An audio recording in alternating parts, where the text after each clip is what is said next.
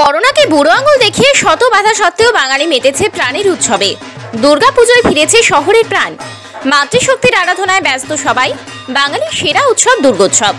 বাংলা ও বাঙালির ঐতিহ্য সাংস্কৃতিক ধারাকে বহন করে চলেছে এই দুর্গোৎসব। একে অপরের হাত ধরেই মানুষের সাথে মানুষের এই আবেগে গড়ে ওঠে এক আলাদা মহামিলনের তীর্থক্ষেত্র। বিগত বছরের মতন এবছরেও মাতৃ আরাধনায় মেতে উঠেছে পার্ক সার্কাসের অতি প্রাচীন দুর্গোৎসব পার্ক সার্কাস উদ্দীপনী। প্রতি বছরের মতো এবারেও স্টিভের পক্ষ থেকে অন্যান্য বছরের মতো এবারেও পুজো পরিক্রমার আয়োজন করা হয়েছে। এবছরের শারদ সম্মান জিতে নিল এই পুজো মণ্ডপ। মহাপঞ্চমীর শুভ রাতে পুজোর অন্যতম উদ্যোক্তা সমীর সাহার হাতে তুলে দেওয়া হলো এবছরের শারদ শিরোপা। খুব খুশি খুব খুশি আনএক্সপেক্টেড আমরা সত্যি পুজো কমিটির মানে আজকে আমরা যারা আছি অনেক রাত হয়ে গেছে, আমাদের সব সভ্যবৃন্দরা যদিও চলে গেছে, আমরা যে কজন আছি, তারা উপস্থিত থেকে যে আমরা এইটা পেলাম, তার জন্য আমরা খুব কলকাতায় একই দিনে এত পুরস্কার কেউ পায়নি, একই সময়। বিভিন্ন পুরস্কার সকাল থেকে ডিক্লেয়ার হয়েছে, কিন্তু একই সাথে চারটে পুরস্কার একসাথে উদ্দীপনী ছাড়া কোনো ক্লাব পাকসাসে পায়নি।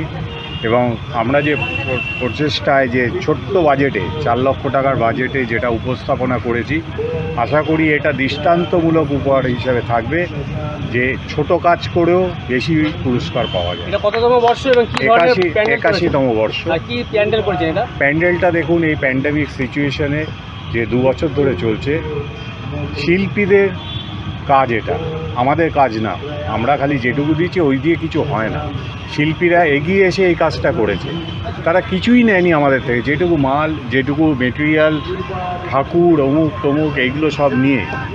যেটা করেছে, আমি, আমাদের শিল্পী তাপসী শাহ চক্রবর্তী, সন্দীপ চক্রবর্তী এবং প্রতিমা শিল্পী পরিমল পালের কাছে কৃতজ্ঞ।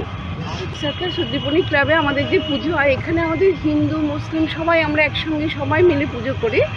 আর এই পুজোতে আমাদের যে প্রাইজগুলো পাওয়া যায়, তাতে আমরা সবাই খুব খুশি, আর আমরা গর্বিত। আমরা মানে ভীষণ আমাদের ভালো লাগে।